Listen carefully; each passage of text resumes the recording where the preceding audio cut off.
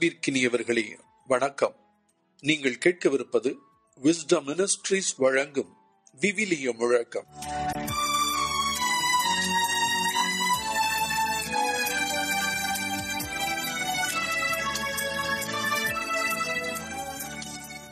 March மாதம் ஐந்தாம் தேதி வெள்ளிக்கிழமை தவக்காலத்தினுடைய இரண்டாம் வாரம். புனித சிலுவை யோவான் யோசேப்பினுடைய திருநாள். ஆண்டவர் உங்களோடு இருப்பாராக. தூய மத்திய எழுதிய நற்செய்தியிலிருந்து வாசகம். அதிகாரம் இருபத்தி ஒன்று இறை வார்த்தைகள் முப்பத்தி மூன்று முதல் நாற்பத்தி மூன்று முடிய மற்றும் நாற்பத்தி ஐந்து நாற்பத்தி ஆறு இறை வார்த்தைகள். அக்காலத்தில் இயேசு தலைமை குருக்களையும் மக்களின் மூப்பர்களையும் நோக்கி கூறியது மேலும் ஒரு ஊமையை கேளுங்கள். நிலக்கிழார் ஒருவர் ஒரு திராட்சை தோட்டம் போட்டு சுற்றிலும் வேலி அடைத்து அதில் பிழிவு குழி வெட்டி ஒரு காவல் மாடமும் கட்டினார். பின்பு தோட்டத் தொழிலாளர்களிடம் அதை குத்தகைக்கு விட்டுவிட்டு நெடும் பயணம் மேற்கொண்டார்.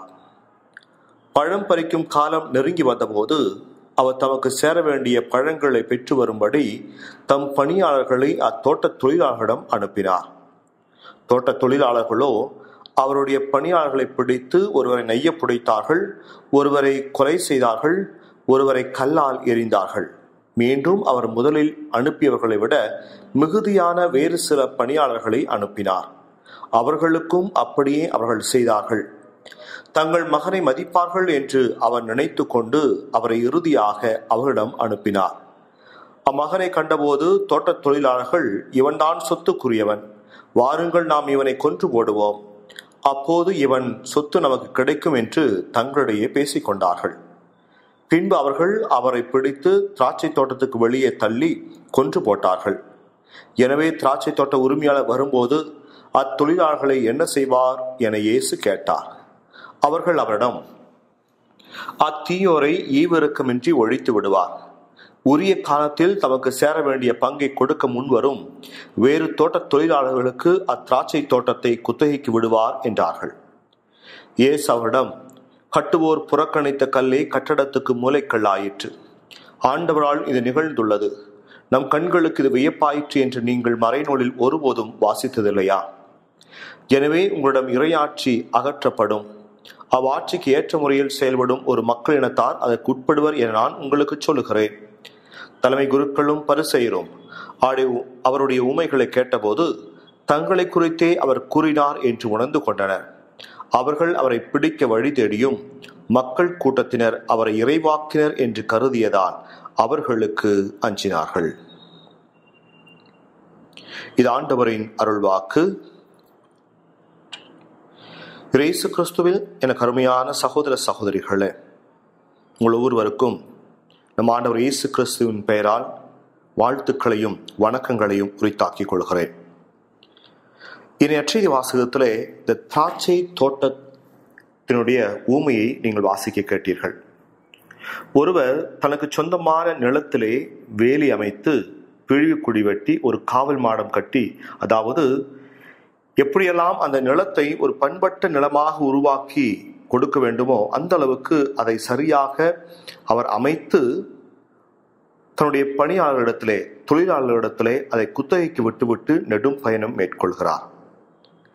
ஆகவே அப்பேற்பட்ட அந்த உரிமையாளர் அதிலிருந்து வரக்கூடிய அந்த பலனை பெறக்கூடிய தகுதியுடையவர் உரிமையுடையவர்.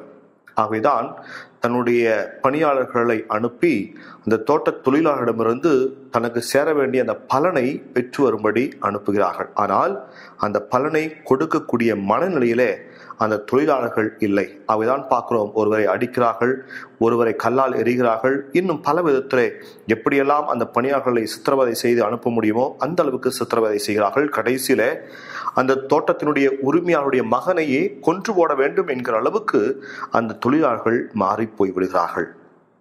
இயேசு கிறிஸ்துவில் அன்பார்ந்த சகோதர சகோதரிகளே நற்செய்தி வாசகத்தினுடைய இந்த முதல் பகுதியை நாம் எடுத்துக்கொள்வோம். அந்த தோட்டத்தினுடைய உரிமையாளர் நிலக்கிழார் என்ன செய்கிறார் என்று சொன்னால் அந்த தோட்டத்தை நல்ல விதத்திலே பண்படுத்தித்தான் தன்னுடைய அந்த தொழிலாளர்களிடத்திலே அதை குத்தகைக்கு கொடுக்கிறார். அப்படி என்று சொன்னால் எல்லா விதத்திலுமே அந்த நிலக்கிழார் அதனுடைய பலனை பெறக்கூடிய உரிமை அவருக்கு இருக்குது என்று சொன்னால் அதை வெறுமனே ஒரு வேஸ்ட் லேண்டாகவோ அல்லது எதுக்குமே உதவாத ஒரு இடத்தை அவர் கொடு கொடுத்து விட்டு செல்லவில்லை. மாறாக பண்படுத்தப்பட்டு பக்குவப்படுத்தப்பட்ட ஒரு நிலத்தை தான் அவர்களுக்கு கொடுக்கிறார்கள். ஆனால் அந்த பலனை அதனுடைய விளைச்சலை கொடுக்கக்கூடிய நல்ல மனதானது அந்த தொழிலாளரிடத்திலே இல்லை. எனக்கு அருமையானவர்களே இந்த ஒரு நிலையைத்தான் நம்முடைய வாழ்க்கையோடு கூட நாம் சிந்தித்து பார்க்க வேண்டும். பல நேரங்களிலே நானும் நீங்களும் அந்த தொழிலாளர்களைப் போன்றுதான் இருக்கிறோம். கடவுள் நம் ஒவ்வொருவரையுமே நல்ல விதத்திலே பக்குவப்படுத்தப்பட்ட பண்படுத்தப்பட்ட ஒரு மனிதராகத்தான் இந்த உலகத்திலே என்னையும் உங்களையும் படைக்கிறார். அதுக்கு தேவையான எல்லா விதமான கொடைகளையும் ஆசிர்வாதத்தையும் இறைவன் பல விதங்களிலே நமக்கு கொடுத்து கொண்டிருக்கிறார். ஆனால் அதற்றையெல்லாம் நாம் உணராமல் கடவுளுக்கு கொடுக்க வேண்டிய அந்த விளைச்சல் பலன் என்று சொல்லப்படுகிற நம்முடைய வாழ்க்கையை பல நேரங்களிலே கடவுளுக்கு காணிக்கையாக நாம் கொடுப்பதில்லை. நம்முடைய வாழ்க்கையிலிருந்து கடவுள் எதை எதிர்பார்க்கிறார் என்று சொல்லி பார்க்கிற பொழுது கடவுள் இந்த உலகத்திலே உருவாக்க விரும்பின அந்த இறை ஆட்சி. அந்த இறையாட்சியை உருவாக்குவதற்கு என்னையும் உங்களையும் தான் கடவுள் பணியாளர்களாக தொழிலாளர்களாக இந்த உலகத்திலே அவர் விட்டு வைத்திருக்கிறார் நம்மை உருவாக்கி வைத்திருக்கிறார். ஆனால் நல்ல தொழிலாளர்களாக நாம் பல நேரங்களில் இருப்பதில்லை. அந்த இறையாட்சியை உருவாக்க வேண்டும். இறையாட்சி என்று சொல்கிற பொழுது ஆண்டவர் இயேசு கிறிஸ்து தான் வாழ்ந்த அந்த நாட்களிலே மக்களுக்கு எதை செய்து இந்த மண்ணுலகை ஒரு இறையாட்சியாக உருவாக்க விரும்பினாரோ அந்த மன்னிப்பையும் அன்பையும் பரிவையும் இரக்கத்தையும் ஏழை எளியவர்கள் மீது நாம் காட்டுகிற அந்த பரிவையும் தான் கடவுள் ஒரு இறையாட்சிக்கு ஏற்ற ஒரு சூழ்நிலையாக அவர் பார்க்கிறார். அவை அப்பேற்பட்ட அந்த இறையாட்சியை உருவாக்க பல நேரங்களிலே நாம் ஒரு தகுதி வாய்ந்த ஒரு பணியாளர்களாக பல நேரங்களிலே நாம் இருப்பதில்லை. இயேசு கிறிஸ்துவில் அன்பார்ந்த சகோதர சகோதரிகளே என்னையும் உங்களையும் கடவுள் இந்த உலகத்திலே எல்லா விதத்திலுமே ஆசு வைத்திருக்கார் என்று சொல்லி முதலில் நம்ப வேண்டும் என்று சொன்னால் நம்முடைய வாழ்க்கையை மற்றவர்களோடு ஒப்பிட்டு பார்க்க வேண்டும். எத்தனையோ பேர் பிறப்பிலேயே ஊனமாக இருக்கிறார்கள். தன்னுடைய வாழ்க்கையிலே இடையிலே ஏதோ ஒரு ஆபத்தினாலே விபத்தினாலே பல விதங்களிலே பாதிக்கப்பட்டு ஊனமாக இருக்கிறார்கள். இன்னும் சிலருக்கு எந்த விதத்திலுமே ஒரு வசதி வாய்ப்புகள் இல்லாத ஒரு நிலையிலே அவதிப்படுகிற கஷ்டப்படுகிற குடும்பங்களை நாம் பார்க்கிறோம் மனிதர்களை நாம் பார்க்கிறோம். இவற்றெல்லாம் ஒப்பிட்டு பார்க்கும்போது நானும் நீங்களும் இந்த உலகத்திலே ஆசிர்வதிக்கப்பட்ட ஒரு வாழ்க்கையை நாங்கள் பெற்றிருக்கிறோம்.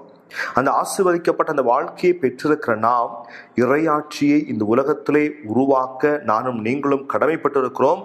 அதை இறைவன் நம்மிடத்திலே உரிமையோடு கூட எதிர்பார்க்கிறார்.